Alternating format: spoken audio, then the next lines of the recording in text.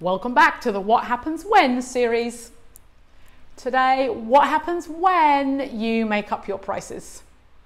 Now, listen, pricing your work is hard, right? It challenges your confidence and belief in yourself and ultimately can be quite terrifying or just go against your creative values altogether.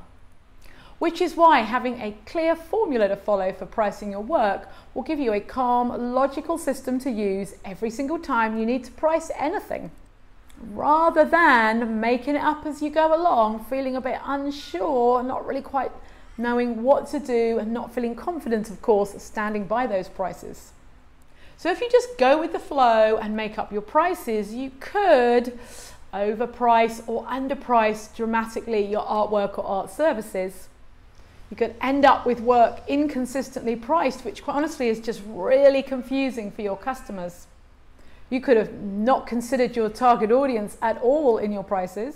You could feel super uneasy in a sales conversation and then not be able to close on that sale.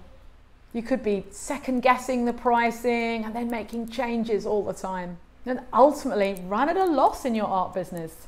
So, how are you going to avoid this? Use one process and stick to it.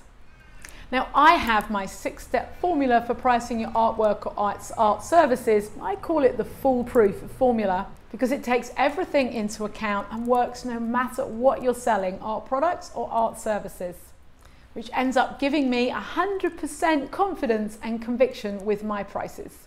So, why not catch my upcoming live masterclass, The Foolproof Formula for Pricing Your Artwork? If you want to get that formula for yourself. Of course, I also share this over in my Art Business Academy membership, along with a lot more tools and templates and art biz trainings. You know, if you're looking for more resources to help you build that dream art business. Thank you so much for watching this super cute little video, What Happens When. Hope you've loved this one. Look out for the next one.